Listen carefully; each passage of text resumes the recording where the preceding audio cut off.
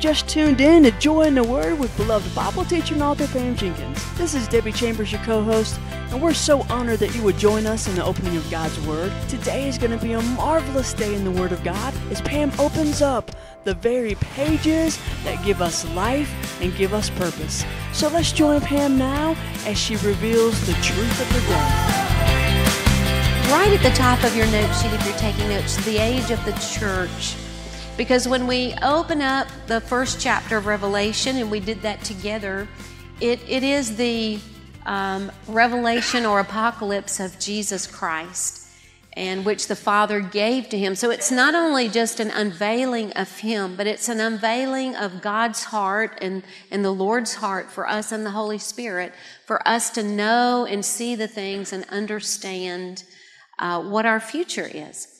And so in chapter one, we saw where Jesus was. It takes us to Jesus, and he is uh, moving in and out of the seven uh, lampstands, which are the seven churches, and it clearly tells us that. And uh, so then he says in chapter two to John, and we know that this is John the apostle.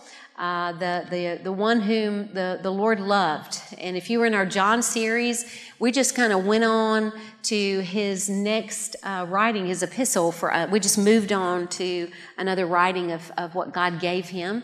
And so John is writing the words that the Lord gives to him, that heaven shows him. And when you get in Revelation chapter 2 and 3, he says, write to the churches. He begins chapter two that way. In our last time together, two weeks ago, we saw that this letter is to seven churches, and uh, these seven churches are, and um, I'm going to show them to you on the screen. They are Ephesus, and we learned about Ephesus. And if you were in here, you know that Ephesus was the, was the church that had left its first love. They were the distant church from the Lord. They were the church that had grown distant in their relationship with him, their love for him.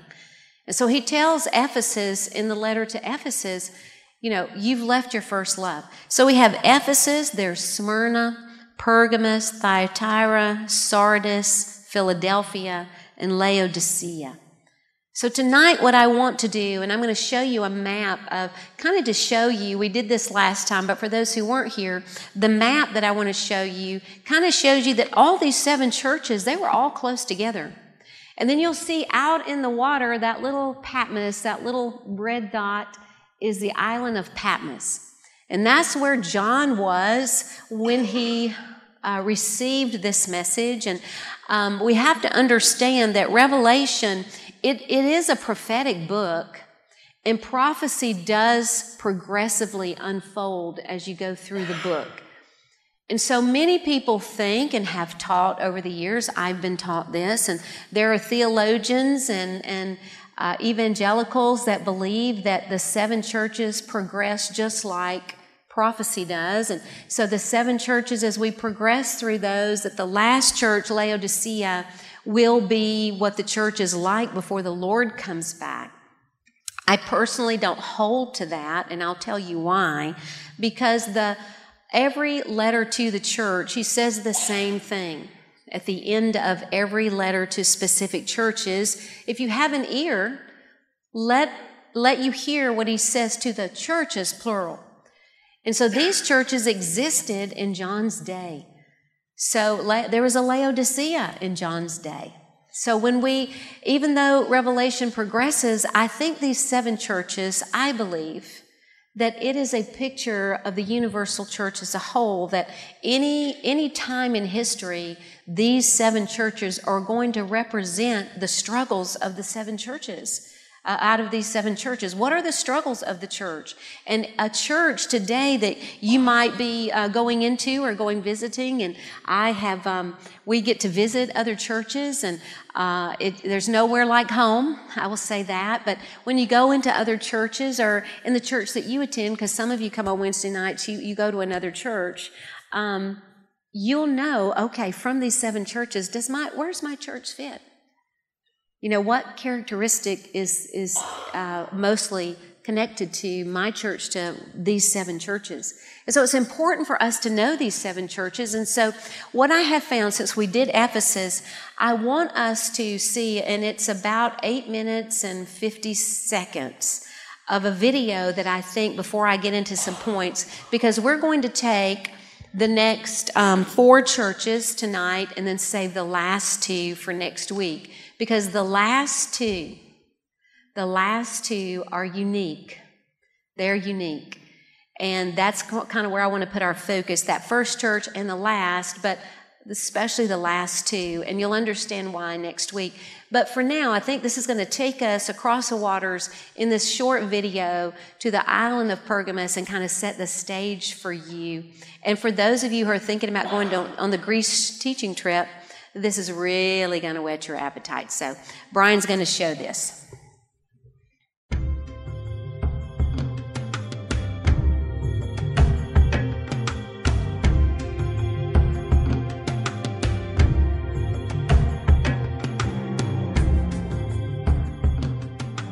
The Greek island of Patmos in the Aegean Sea is a place of rugged beauty. The pace of life here is unhurried, a reminder of less complicated times.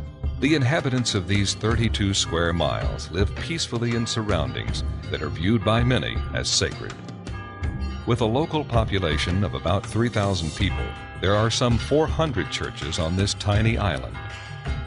At the end of the first century AD, it was here that the biblical writer John saw the extraordinary visions that became the book of Revelation. He wrote down what he saw and sent it as a letter to seven churches in Asia Minor. Seven is the operating number, the perfect number all the way through the book of Revelation. It's a, a progressive unfolding of one seven after another seven bowls, seven lampstands, uh, seven trumpets. So the, the seven is, is dominating the book. It's a heavenly number. Letters are written to seven churches because instead of eight or nine or only five, because seven is a very significant number, especially in the Jewish world, the significance of which is inherited by the Christian church. And we see it reflected here in the book of Revelation.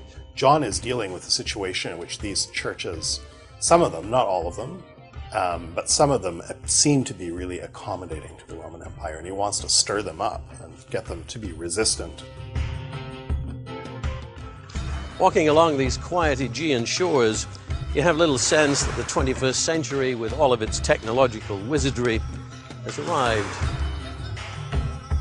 Hello, I'm David Hulme, and I invite you to journey along with us today as we investigate a centuries old mystery a cryptic message that's still relevant today, though it was given to distant peoples a long time ago.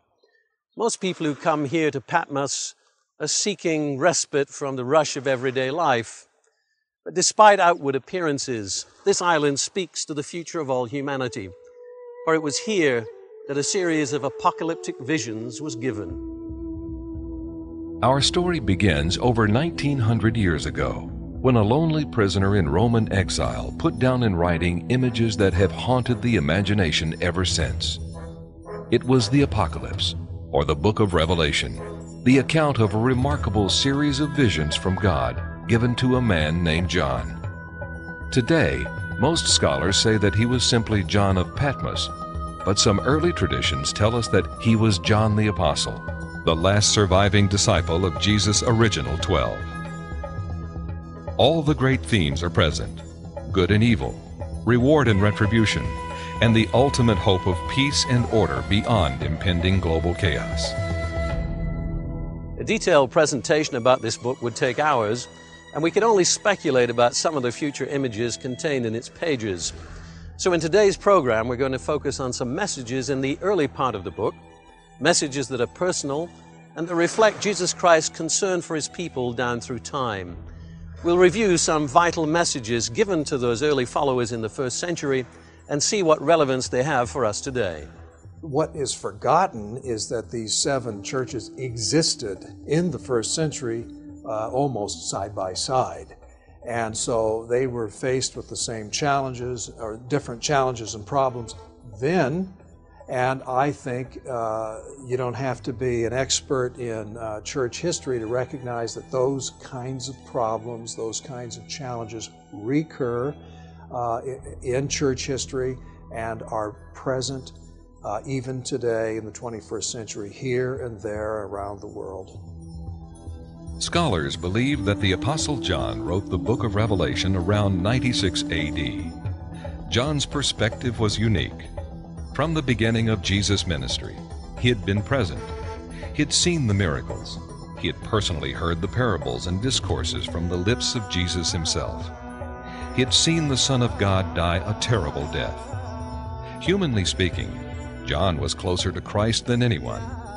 In fact, they had such a close relationship that Jesus asked John to care for his mother, Mary, after the crucifixion. In the years following Jesus' resurrection and the beginning of the New Testament church, John experienced something else, something shocking and disturbing. He watched in sadness as the initial enthusiasm of the church diminished. Though it grew in numbers, the church faced serious challenges. Some three decades before John's imprisonment on Patmos, the Roman Emperor Nero had burned Rome, subsequently blaming the followers of Jesus, who were viewed as a sect of the Jewish faith. This false accusation led to extreme persecution, and many died horrible deaths. The spread of the church's influence led a later emperor, Domitian, to begin another round of persecution. According to the ancient Greek writer Philostratus, islands such as Patmos were full of exiles during the reign of Domitian, and it seems that John was one of them. All of this is background to John's detention here. By the 90s AD, he was old and probably wondering how much longer he was going to live. He was no doubt concerned by the decline of the church and left pondering its future. It was then that the stirring but turbulent apocalyptic visions were given to him. It's often thought that the book of Revelation is John's message, but the introduction says otherwise. The revelation of Jesus Christ, which God gave unto him to show unto his servants things which must shortly come to pass. And he sent and signified it by his angel unto his servant John John was exiled to this Roman prison island because he refused to compromise his belief and practice as a follower of Jesus. Exile was a common punishment for those judged guilty of promoting what was thought to be a superstition. Exile could mean being cut off from family and friends for the rest of your life. In the first century, escape from Patmos was nearly impossible. The mainland was 14 hours away by boat. But in John's case, the Emperor Nerva, who succeeded Domitian, released all exiles in 96 AD. Once again, a free man, John wrote down the entire apocalypse and prefaced it with Jesus' personal message to each of seven churches. What's said in each of those messages is a combination of commendation, complaint, and correction. They're messages to people struggling to live according to Jesus' teaching and example. And that's why these messages to the seven churches are so relevant for us today. John, to the seven churches in Asia. I was on the island of Patmos because of the word of God and the testimony of Jesus. On the Lord's day, I was in the Spirit, and I heard behind me a loud voice like a trumpet. But why were these seven churches singled out from all the other congregations in the Roman Empire? The seven cities mentioned in the book of Revelation likely symbolized all of the church at that time, seven being a biblical number for completeness. The seven individual cities named were some of the largest in the Roman Empire. They were on what was probably an ancient mail route, a network of Roman roads. Letters were probably delivered following a circular route, beginning at Ephesus, going north to Smyrna and Pergamum, then southeast to Thyatira and Sardis, and along a major river valley to Philadelphia, and on to Laodicea. From there, the route was completed back at the coast in Ephesus.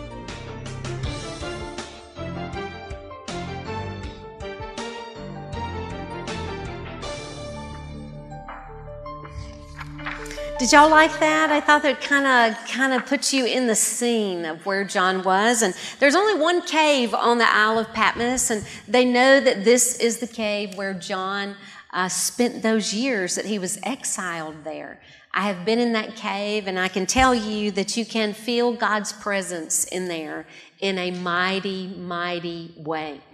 But Jesus was crucified in AD 30. We know that John received revelation around the time in the AD 90s, but he was able to leave that island in AD 96. So that tells you that he was on up there in age. It'd been over 60 years since he had seen the face of the Lord. And this was a big deal when the Lord came to him. So what a, what a treat for, for John. Uh, to have been exiled and then actually get to have that encounter with Jesus to write the last book of our Bible. So, what I want to do is, I want you to write point number one. I want us to see the second church. We saw Ephesus, but we're going to go through four churches, and I'm just going to give you the highlights of these because I'm really, uh, in a week from, two weeks from tonight, we'll get into the rapture. And uh, just biblically, what does it teach us about that? Um, but the, the number one is the suffering church. The suffering church. We know that Ephesus was the distant church because they had left their first love. And remember, this is a picture of a whole. Seven is a universal number, but I think that this is just the characteristic of the whole of, of any church would fit into some of these categories. And, and what we can do is let me look at my life compared to these churches, because we are the church. But let me, let me look at the church that I'm in or that I, I'm visiting, we need to know the state of the church. It's important. It was important for God to, to, to know this, for us to know this. So the first church is Smyrna. It's the suffering church. And we begin our, our reading. Let me tell you just a little bit about Smyrna first. The, in Smyrna, emperor worship was greatly promoted and adhered to. You're going to treat the emperor as though they were God. And so you're going to worship the emperor. And they were persecuted. The people in Smyrna were persecuted by the Jews who lived there. Uh, because they thought, you know, you're pulling away from the Jewish tradition and, and Jesus isn't our Messiah. And so they had a war. And as long as you were connected, if you were considered the Jewish religion, then you didn't have to call the emperor Lord. You didn't have to uh, see them in that way and give them your worship. Laws protected the Jews, believe it or not. And so what the Jews did was they went because they persecuted the Christians. They hated the Christians. And so the Christians were left alone for a little while. But the Jews began to go and say, hey, they have nothing to do with our religion. And so the Jews were, uh, the Christians were greatly persecuted because of the Jews. They said, they're not part of us, so they need to call the emperor Lord. Well, the Christians wouldn't do that. They stood their ground. And so let me read you what he says beginning in verse 8, and now you'll understand why he's saying what he's saying to the church of Smyrna. To the angel of the church in Smyrna, write. And when he says angel, this is the messenger or the representative, would have been the leader, the earthly leader of the church at that time. It says, The first and the last who was dead and has come to life says this. I know your tribulation and your poverty. They became poor there because they were cut off, because they wouldn't worship the emperor, and the Jews persecuted them and they wouldn't do business with them. He said, But you are rich, and the blasphemy by those who say they are Jews and are not, but are a synagogue of Satan. Do not fear what you are about to suffer. Behold, the devil is about to cast some of you into prison, so that you will be tested, and you will have tribulation for ten days. Be faithful unto death, and I will give you the crown of life. And again, same message as he ends all the churches. If you have an ear, let hear what the Spirit says, listen, to the churches. He who overcomes will not be hurt by the second death. And that means judgment. When everyone is judged and all the nations of the world are judged, he said, you won't be hurt by, by, by that death, which are those who will be cast, according to Revelation, we'll see this, into their eternity into the eternal lake of fire. So what can we, what was the word for this church? It says, I see you. I see you. I see every time you make a stand for me in that office or to that family member or out in the community or to your neighbor, I see the, the persecution or the lost friendships or the lost positions. I see the distance that people may put between you because you are a Christian and you do stand for your faith. I see your tribulation, is what he's saying to them. Now, they suffered on a level that we haven't in America yet, but I believe it's coming. I believe it's coming. And for this church, we need to know are we the suffering church? Are we the suffering church? Are we standing up and living our faith and refusing to bow the knee and let anyone else be the Lord over our life? Have we done that? That's a, that, that's a very convicting question. Really, who or what is the Lord of your life? Who do you bow the knee to? Is yourself? Is it family? Is it peer pressure? Is it your job? Is it the world? He said, But I see you. I'm, a, you know, he didn't correct this church for anything, by the way. He didn't get on to them, and, and his word to them is very short. So he says, Be faithful. Do not be afraid of what's ahead of you. Because I know in our culture today and in the times in which we're living, even in America and what's going on around the world, it can be frightful. You know, my mother was talking about that to go and, and get to take care of my mother. Uh, is one of the days of the week I go is Wednesdays, and she was saying, you know, it'll just you just you just don't know what to think. I, you, you make you afraid when you watch the news and you see everything going on. Do you know before this church went into persecution, what he told them, and, and Smyrna did suffer greatly, the persecution under Nero and the others that followed. They lost their lives. They died gruesome deaths. And he said, Don't be afraid for what's coming. Some of you are going to be cast into prison. And the 10 days has been questioned. Was it 10 days? It was just a set period of time. What does that mean? Well, he really doesn't tell us. But what I do know about Smyrna is that it lasted a long time according to history. According to history. But the Lord sent word ahead of them saying, I see the struggle you're having. I see the tribulation, I see the persecution. He said, but don't be afraid of, of, what you're about to encounter. And I don't know about you, but everything that's going on, I need to hear that. And then he says these sobering words be faithful unto death. Wouldn't you want that on your tombstone? Wouldn't you want that to be true, to be put on your tombstone?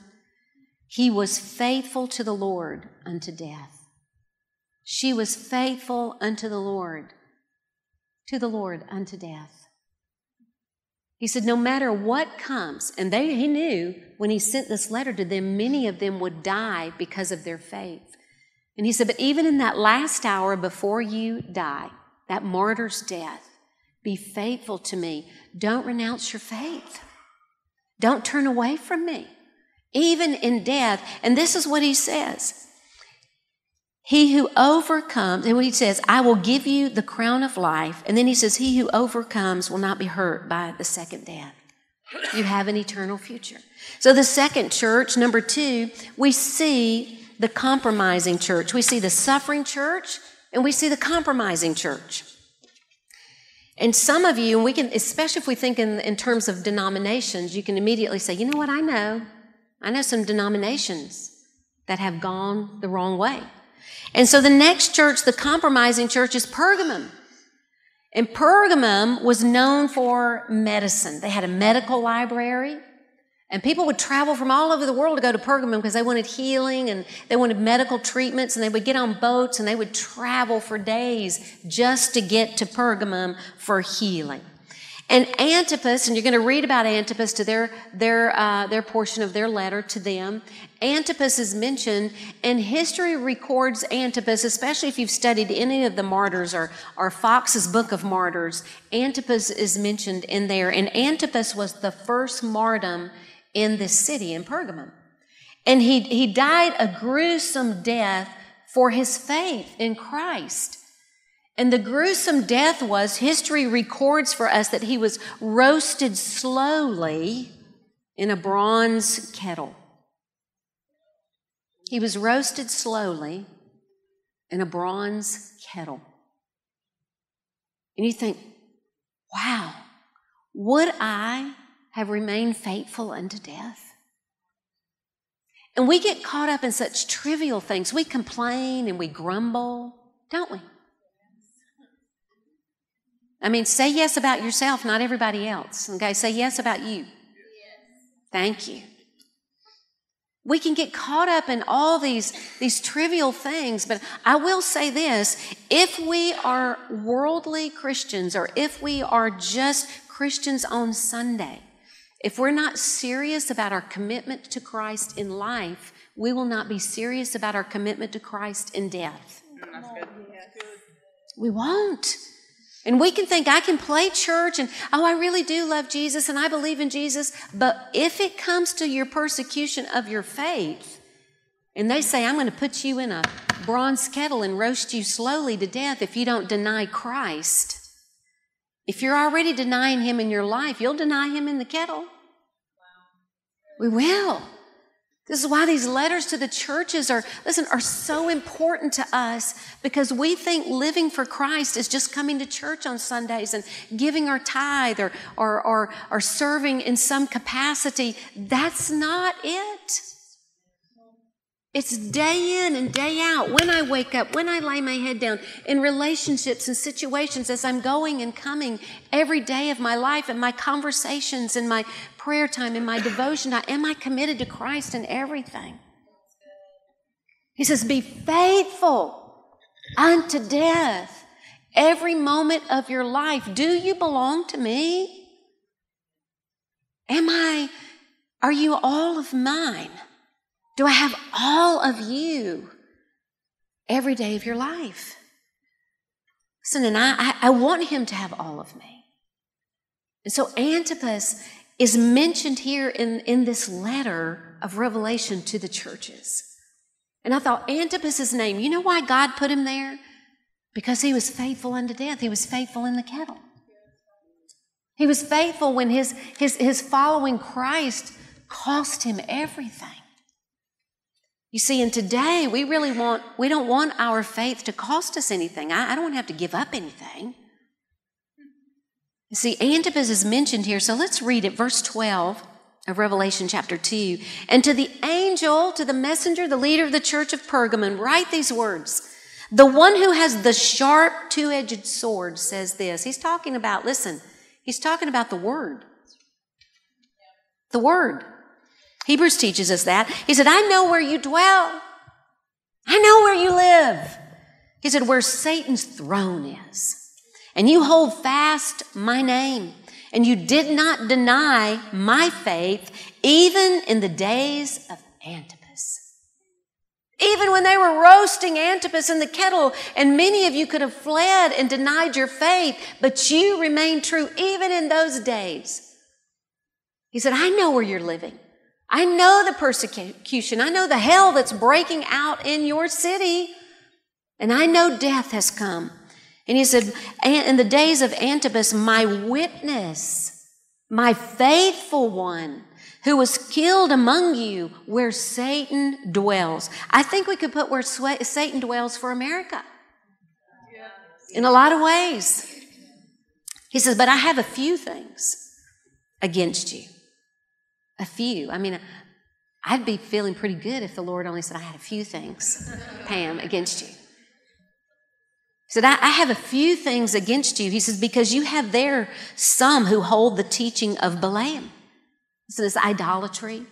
He said, who kept teaching Balak to put a stumbling block before the sons of Israel to eat things sacrificed to idols and to commit acts of immorality. In short, this is pagan worship where Immorality is part of their worship. You can live immoral. And so, and, and, and it be an act of worship. And you encourage others to do the same. I mean, that's, that's the culture we're living in. That's where we're living today. And he says, So you also have some who, in the same way, hold to the teaching of the Nicolaitans, or Nicolaitans, depending on who says it. If you're in the country, you say Nicolaitans. the Nicolaitans, he, if you read in Acts, when they were choosing men, the apostles were choosing the group to help serve and take care of the sick and serve tables. You know, Stephen was one of them. Stephen was among them, if you know your church history, a little bit of Acts. And he was the first martyr of the church. They stoned Stephen to death. Well, a man by the name of Nicholas was chosen, and this is his following. So it is spread from Jerusalem all the way to Pergamum. And it's in, and it's in that, you know, it was in Ephesus and the other churches too. And he started teaching that you can still have faith in Christ and indulge in pleasure, like not good pleasure. I'm not talking about eating an ice cream cone. Sexual pleasure, drunkenness. You, you can indulge in these things and still belong to Christ. So just indulge yourself the personal life you want to live. And, and what, what the Lord is saying to this church is your personal life, your public life, and your private life, your, your public worship and your private worship are important. They should match. They should match, is what he's saying to this church. And then you say, well, what does he tell them to do? Well, I can't imagine hearing this. I mean, I used to hear it from my mama growing up, but to hear this from the Lord, therefore, because these things are true, you better repent, he says. Repent. And here's where it, here's where it gets. It's like my mama said, or else I'm coming for you with the belt. He said, I'm coming to you quickly. And I will make war against you with the sword of my mouth. He said, there's consequences. There's consequences that will follow. He's, and again, he says, if you have an ear, you better hear what I'm saying to the churches. Hear what I'm saying. And he said, if you overcome, I'm going to give you some of the hidden manna. And I will give you a white stone and a new name written on that stone, which no one knows but the one who receives it. So you say, Pam, what's the message to this church? You have compromised truth. You've compromised truth, listen, personally. And you have not stood for God's word. You've said, okay, we can do this, but we can give in here. And listen, the United Methodist Church has done that. We'll just, we'll just pull them out and, and, and we'll use that as an example. Okay, we'll hold to the Nicolaitans and saying, okay, you, you, you want to live this immoral lifestyle that God's word says is wrong, but we'll give you that.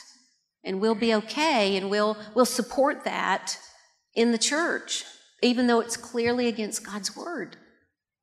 So then this is, this is not beating up on anyone or any lifestyle. But what he's saying, if you're the church, you're not the church if the word is not, is not living and active. You're not holding up my word. If you're not upholding my word, then you're not my church. And you better repent, he says, or I'm coming to you. I'm coming to you. You can't, and you can't tell people, okay, it's okay to live the life that you want. Because God's word teaches the opposite of that. And today I have to ask the body of Christ, are we willing to stand up for truth and say, no, no, I don't say that's wrong. God's word teaches us that that's wrong. It could be abortion. It could be adultery. You know, many things. Are, we are we rooted enough in Christ to say, this is what God's word says, and I have to uphold this? So let me give you a, a nugget right here. A, the life of compromise will suffer consequences from God. Have you compromised your faith, your commitment to Christ? Have you compromised anywhere? Listen, daily I have to check myself for this. Have I compromised? Anywhere? Have I compromised in my language? Have I compromised in my relationships? Ha- have I compromised anywhere at all? It is, it, it, could, could Jesus be with me 24 7 and be pleased with everything that I do and say? Would he be pleased if he were right there? And, and by the way, if you're in Christ, he is with you. Everywhere you go and everything you do. Would he be pleased? Would he be pleased? Because I, I know when I when I step outside of, of pleasing him, outside of his will, his perfect will, his word, and listen, in conversation, in anything, in thought, in anything, immediately the Holy Spirit, boom. Boom. boom. You know, I've had my fleshly moments. Don't think the Bible teacher doesn't get all up in her flesh, because I do. I do. I, I had a moment, I had a moment with my neighbor. I had a moment with my neighbor. I have this neighbor that for years has just been on and on and on and, and doing things and spraying my shrub to kill it and cutting limbs and, and, and, and cutting down things that are not his because he, I, I'm allergic to that, so I'm just going to cut all your bushes down. Who does that? that? That's me. I'm out in the yard going, Who does that? Who does that? And then I caught him picking up limbs from his yard just a couple of weeks ago and just in anger, hurling them into my yard, into my front yard. And I looked out my door. I won't say his name, I'll call him Tom. Tom, what are you doing? I can't believe that. And he was just hurling every stick, and he would go get him on one side of his yard and run to my yard and throw him over there. And I said, Who does that? You're a Christian man. And so, listen, this has been building for years. It's been building for years and building for years. Several, you know, years now. So, not like it happened once. I'm, I'm setting up a defense for myself. And so, he'll say, Well, your branches or your bushes, you know, they're, they're kind of curved this direction. And so, when the rain comes, it pours water off of them. And so there's a huge oak tree in the back, and, and those limbs, they come over my back driveway, and so and it dumps a mound of leaves. And so what, what my neighbor does on my trees, he'll blow all, if any, I don't care if it's two leaves on his yard, he'll bring those two leaves because it's your tree. Well, I never said anything about his tree. So a storm came by, and there was this big old limb. It fell from his tree, from Tom's tree. I had a moment of non Christianity. I just caught him throwing the limbs. Now, listen, been over there face to face, asked them not to do it. You know, the chief of police has gone over there and just said, hey, don't do this. But he still does it. He's crazy. But listen, this is the way I asked for it. The consequences follow, Tom. I picked up that limb. It was a big old limb. I hurled it into his yard and I said, There you go, Tom! There you go. And listen, but you know what? You know what? I'm so ashamed of my behavior. I had a mad moment. I'll be 61 this year. I think you earn some rights the older you get. And as, listen, as soon I could hear the Holy Spirit saying, Don't do it, don't do it, don't do it. There you go, buddy. I was just had had it with him. And as, listen, as soon as I let that go, I wanted to climb the fence and take it back. But I couldn't. I, I couldn't get over it. But what I'm saying is listen, our behavior, even when we are antagonized, doesn't justify behavior. Mm. It doesn't justify limb throwing. It doesn't justify that. And so, I mean, my sins are stupid things like that, where my flesh gets the better of me. I'm not out partying and drinking and all of that stuff, you know, but like in my pre Christ days. But listen, I can be just as sinful as my pre Christ days. I can. Just my flesh. And he says, Your public commitment to me and your private commitment to me are important to this church. It's important. A life of compromise will suffer consequences. Listen, I had to repent of that. I felt so bad, and I, I had windfire coming up. I thought, Lord, don't block the flow of where I go. You know, I have to stay clean with Him because of speaking and, and people wanting to receive God's message. You're the same way. You're a vessel, and we have to keep it clean. And when we do mess up, we got to go and pour that out and repent of it. He said, if you'll repent of it, I'll forgive you and I'll, I'll fill you fresh. I won't beat you up on it. So, church number three, I hope y'all still love the teacher. Always. number three, shows you your teacher ain't perfect. The church that tolerates sin. The church that tolerates sin. We have the church that compromises truth. They're not, okay, it's okay if you don't like that part of God's word, they make it a buffet, a smorgasbord, you just pick out what you want. Or the suffering church. But this church, Thyatira, Thyatira was the church that tolerates sin. It tolerates sin. And we'll read one. It says, And to the angel, verse 18 of the church of Thyatira, write, The Son of God who has eyes like a flame of fire. I mean, he starts off boom with this church. And his feet are like burnished bronze, says this I know your deeds your love and faith and service and perseverance, and that your deeds of late are greater than at first. But I have this against you that you tolerate the woman Jezebel. Now, listen, this is a not the Jezebel in the Old Testament, but it is that teaching of Jezebel who calls herself a prophetess. Listen, in, as you travel in ministry, I, I've never had a man come to me and say they were a prophet and had a word for me. But I've lost count of the women. I have. I have, I have my, our staff can attest to that. I, I have lost count of the prophetesses that have come to me calling themselves a prophetess and having a word for me. See, the Holy Spirit will speak to me. I, I listen, I don't despise prophetic utterances, but a prophet usually speaks either to a person that it affects the whole nation or to a nation. And today we have God's word and we have the Holy Spirit. So you, you have to be careful of who comes and speaks to you things. And it says, But you tolerate this woman Jezebel, who calls herself a prophetess. She teaches and leads my bondservants astray so that they commit acts of immorality and they eat things sacrificed to idols. said, I gave her time to repent. She does not want to repent of her immorality. Behold, I will throw her in a bed of sickness. And those who commit adultery with her, listen, into great tribulation.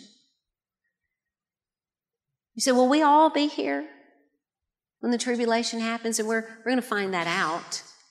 But I know that this is the one church characteristic that talks about the Great Tribulation. Unless they repent of her deeds, and it says, I will kill her children with pestilences, that's disease. And all the churches will know that I am he who searches the minds and hearts, and I will give to each one of you according to your deeds. He says, But I say to the rest of you who are in Thyatira who do not hold to this teaching, who have not known the deep things of Satan as they call themselves, I place no other burden on you. Nevertheless, he says, hold fast until I come. Hold fast until I come.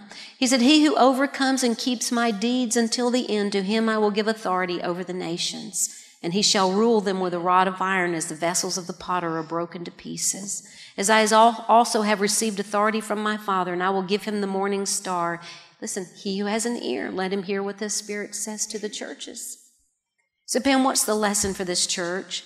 Sin cost Jesus his life on the cross. Deal with sin. Don't take sin in your life lightly. Don't take it lightly. Unrepented sin, he says, judgment will come. Don't take sin lightly. We can make jokes and talk about things that we shouldn't, and behaviors and gossip and telling lies and little things like that. And we just, we take those things, we can take those things lightly. And he says, don't take sin lightly, especially if you're allowing it, people to come in and to, to, to teach a sinful way of living, that that's okay. We should never be okay with that. John MacArthur says this. Let me give you this quote, and then we'll get to our last church tonight. John MacArthur said, We should not be entertained by the sins for which Christ died. I love this quote. I've used it in the past. I love it. We should not be entertained by the sins for which Christ died. And, and let, me, let me ask you this question as we're going into the next church, our last one for tonight. When you sin, does it prick your heart? Do you, do you feel convicted? Is that little shame or guilty feeling? You say, well, we're not supposed to feel guilty. Sure, we are. In Christ, we're forgiven, but if we do something wrong, we should feel guilty slash convicted. You say, Pam, are they the same thing? They're, they're pretty similar. Uh, guilty is guilty is you feel you know you did something wrong. Conviction is okay. That's from the Holy Spirit, so I know that's wrong. But conviction is going to say, I you need to repent. You need to make it right. You, can go on and live in guilt, but conviction pushes you to repent and to stop the behavior, to correct it. The last church that I want us to see is the church that is dead. The church that is dead, and I'll go ahead and tell you this is Sardis. And the way that I remember this is sardine. It's a dead church. Sardis was like a sardine. It's a dead church. It's a dead church. So we have the church that is dead. We have the church that tolerates sin, the church that compromises truth, and the suffering church, the church that is suffering for their faith. But this church that is dead, Sardis was a church that was spiritually dead. And to give you some good points about this church, but he tells us in verse uh, chapter 3, verse 1, he says, To the angel of the church in Sardis, write these words. He who has the seven spirits of God, and listen, that's the completion. Isaiah talks about this, and we'll, we'll, I'll teach this a little bit later, but it's coming. But it's just the, they're not seven Holy Spirits. There's one Spirit, but it's the completion of wisdom and knowledge and mercy and all those things. He says, and the seven stars says this, I know your deeds, that you have a name, that you are alive. Listen, people know, whoo, have you been to that church over there in Sardis? I have heard of them. They have a name, they have a reputation, so they've made a name for themselves. And he says, I know your deeds, that you have a name, that you're alive, but you are dead. Wow. That's happening in church over there. Yeah, but you're dead, he said. Wake up. Wake up. Strengthen those things that remain. What you have left is what he says, which were about to die, for I have not found your deeds completed in the sight of my God. You have incomplete assignments because you've been busy with all this other stuff. You haven't completed the assignment, listen, which for all of us is the gospel. We can be sidetracked into all these other things, and we say, okay, how are we getting out the gospel message as a church? Said, You have incompleteness in your assignments. You've got all these things happening and they look great. You're the happening church. You got a name for yourself. And he says, Therefore, he says, So remember what you've received and heard and keep it and repent. Therefore, if you do not wake up, I will come like a thief and you will not know at what hour I will come to you. These are the people, this is the church, the body of Christ that's not going to be ready when he comes or when we're raptured. We're not going to be ready. Because we're going to be busy.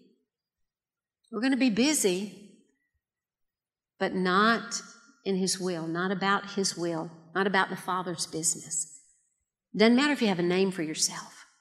Doesn't matter how many people know Pam Jenkins' name or your name or a church's name, a pastor's name, a ministry's name. We can be as dead as a sardine and still have a name. Still have a name. He says, But you have a few people who have not soiled their garments, and they will walk in white with me, for they are worthy. He says, He who overcomes will be clothed with white garments, and I will not erase his name from the book of life. And I will confess, and listen, this is not the Lamb's book of life. You can't, not, this isn't teaching that you'll lose your salvation. If that's what you believe, then let me give you some scriptures and help you understand that a little better. The book of life are those who've been recorded, and the book of life of deeds is going to be opened up, and your deeds are going to be. As Christians, we it's it's a fallacy to believe that we're not going to give an accountability just because we're in Christ. That's God's word teaches the opposite. In fact, Jesus even taught you're going to give uh, uh, an accountability for every careless word you've ever spoke. But our deeds, we're going to have to give an accountability.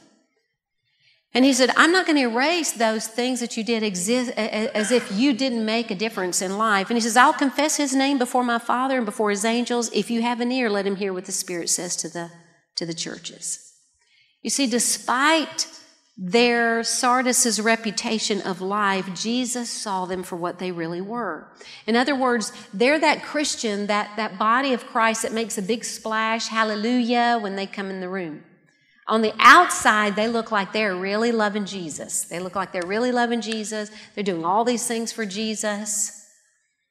But I want you to understand this. He says, But you are dead. Those words, but you are dead, shows that a good reputation is no guarantee of true spiritual character. Despite their good appearance, Jesus saw them as dead. Listen, there was no struggle, no persecution, no fight, none of that because they didn't have any spiritual depth or spiritual life. They had they were active, but hear this line. It wasn't that the church at Sardis was losing the battle. A dead body has already lost the battle. Let me say that again. They were dead, remember, spiritually dead. It wasn't that the church at Sardis was losing, the battle means spiritual battle. Said a dead body has already lost the battle. So let me give you a nugget right here as we begin to close out our time. Sardis was a perfect model of inoffensive Christianity. Inoffensive Christianity. We don't offend. We have all these great things going on, but we don't offend because we don't address sin. We don't address the things that are wrong. We don't invite you to walk deeper with Christ, or we don't talk with you and confront you about sin and love. We don't ask and call for repentance for our nation, for our world. We'll use our social platforms to promote ourselves and pictures of ourselves all day long, but not the gospel, not the truth. He said, so you might, you might have a lot going on in your life, and people might say, Woo, they, they've got a lot going on. They look like they have a great life. But there is no spiritual depth there that I see. There's no, there's no message about Christ coming forth from your life. This was Sardis, the dead church. Winston Churchill said, said to Britain in the early days of World War II, I must drop one word of caution, for next to cowardice and treachery, overconfidence leading to neglect and slothfulness is the worst of wartime crimes. Slothfulness and neglect, overconfidence. We got all these works. We got all these works. Sardis thought they were good. If I just wrote out to you everything that I'm doing for the Lord and everything that's going on, we're the happening church. I mean, we got building programs, we got activities, we got something for every age. You can come in but they were as dead as they could be. So, is your life filled with busyness for the Lord, but not with the Lord? Would somebody want your Jesus based on your lifestyle? Would somebody know that you are truly committed to Him based on your conversations? Based on your thoughts? Based on your private life? Is the Word of God really the law that you live by? Or have you compromised there personally? You know, He already knows it. These letters are to us. Which church so far could you identify the most with? Or maybe it's more than one. You see, as a church, He has a word to us. Your faith is your life. Your life is your faith. If you follow me, if you say you're a Christian, your life should show that. You got to live different, privately and publicly. Got to live different. And sin should bother us personally. Listen, if it doesn't bother us personally, it's certainly not going to bother us when the world is living loose. Revival starts with us. We want to change in this country. It's got to start with us. We got to start cleaning out. We got to start throwing away, getting rid of those things that he says, tear them off, rip them off from your life, that you have to let go of. But he, he ends with the same warning seven times in a row. He says it He who has an ear, let him, her hear what I'm saying to the churches. Hear what I'm saying. Because he's saying it for us. The hour is growing very dark, meaning our time is winding down. I don't want to give my life to worldly things not to the pleasures that I want to give it to. I want to give it to Him. I want to take as many into heaven as I can because I know there's a second death coming. And I don't want those to be hurt by the second death, eternally separated from God. That ought to be my burden every day that I wake up. And if that's my burden, I'm going to live a life that people know okay, she's real. She really does believe in Christ. He really is her Lord. Even when she hurls a lamb over the fence and shouldn't have done it, she repented. If I could have fetched it back, I would have. Sin should bother us, right? So, we have two churches left. Listen, these are the big ones.